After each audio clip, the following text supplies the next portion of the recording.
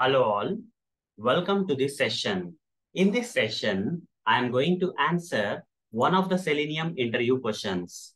That is, what is the use of grouping in TestNG? Let me answer. In TestNG projects, we can group the tests into different categories like a smoke group, sanity group, regression group, and so on, whatever the groups you want. Okay. Why we have to group? For example, in a particular case, if you want to run only the test related to a particular group, okay, then we can do that. Or out of all the tests, you want to exclude the tests from a particular group. Remaining all the tests need to run except that group of tests. Such kind of facility, if you want, then you have to group the tests, okay, with the help of grouping in TestNG. So how to do that? For that, this is a syntax. Okay, we have to use this groups attribute and provide the name of the group okay, for that particular test in order to categorize that test into a particular group. After that, after that, after grouping the test into multiple categories and all, then in the TestNG XML file, you have to use these tags like groups tag under that run tag. In that, you can include and exclude the groups. Which groups you want to run the test from, which groups you don't want to run the test from, everything you can mention. Let me practically demonstrate this for you. For that, I'll switch to this Eclipse IDE, uh, where we have this uh, demo.java. And here two tests are there. Okay, sample test one. When it is executed, this one will be printed. Sample test one got executed will be printed. When this uh, sample test two method got executed, sample test two got executed. So beside the other test, I'll I'll just name the groups. Okay, uh, group here we have to give groups is equal to curly braces. Mention the name of the group. Okay, I want to categorize this particular test under which group? For example, smoke group. Whereas this particular test, I'll say groups is equal to groups is equal to, and I would like to categorize this uh, test under a different group. Let's say, for example, for sample, say sanity, I'll say. Okay. Now save this. For sample, I am taking only two tests. Okay.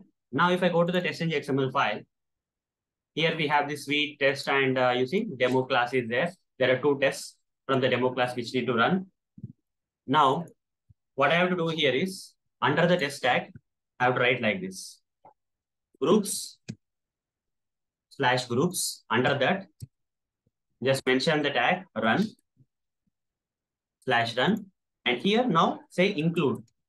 Include name is equal to smoke. Only the test related to smoke group will run. Okay.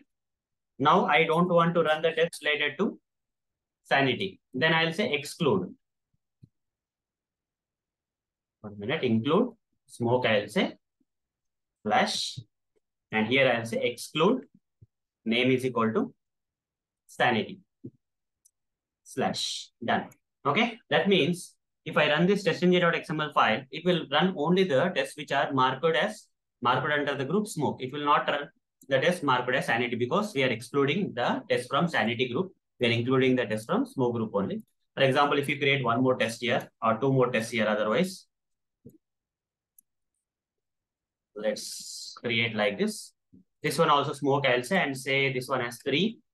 I'll say three here. Here I'll say four. Here four. Now there are four tests. Two tests categorized under smoke category or smoke group. Two tests categorized under sanity. But I am including to run only the test from the smoke. So only two tests will run. Other two tests are not going to run. Okay. So sanity tests are not going to run. Only smoke tests are going to run when I run this TestNG XML file. Let's run it.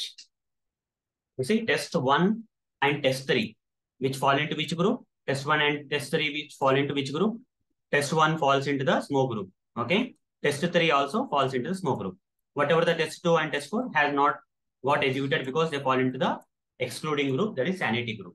So hope guys you got the answer for this uh, question. That is what is the use of grouping to include or exclude the execution of the test from different groups. We can use grouping of the tests in test TestNG. So that's all for this session. Thank you. Bye-bye.